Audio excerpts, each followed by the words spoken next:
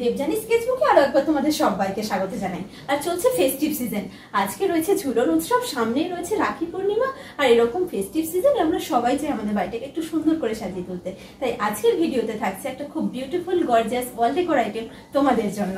আর যেটা থাকছে দুটো পার্টে যেটার ফার্স্ট পার্টটাই আজকে আমি শুধু তোমাদের সাথে শেয়ার করছি, আর এটার সেকেন্ড পার্টটা খুব শীঘ্রই আমার চ্যানেলে তোমরা দেখতে পাবে।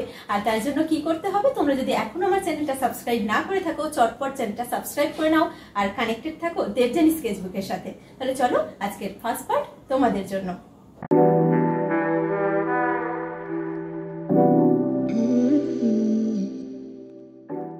আজকের ওয়াল ডেকোর আইটেমের জন্য এখানে আমি ইউজ করছি টুয়েলভ ইঞ্চিজের রাউন্ড এমডিএফ বোর্ড এটা ছাড়াও এখানে আমার আরও একটা রাউন্ড বোর্ড লাগবে, যার জন্য এখানে আমি ইউজ করছি এই কেকের কার্ডবোর্ডটা এটা আছে সেভেন পয়েন্ট সিক্স ইঞ্চিস এই দুটো বোর্ডই এখানে আমি ইউজ করব।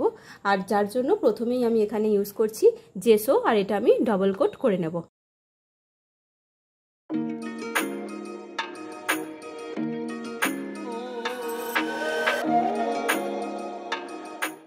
এখানে দেখো রাউন্ড পেপারে একটা সুইট রাধাকৃষ্ণের ইমেজ আমি অলরেডি স্কেচ করে নিয়েছি। আর এমডিএফ বোর্ডে যে সোটা ডাবল কোট করে নিয়েছিলাম, সেটা একদম ড্রাই হয়ে গেছে। এখন কার্বন পেপার ইউজ করে ডিজাইনটা এখানে ট্রেস করে নেব। আর ছোট্ট বোর্ডটার জন্য এখানে আরও একটা ডিজাইন আমি স্কেচ করে নিয়েছি, এটাও এখানে কার্বন পেপার দিয়ে ট্রেস করে নেব।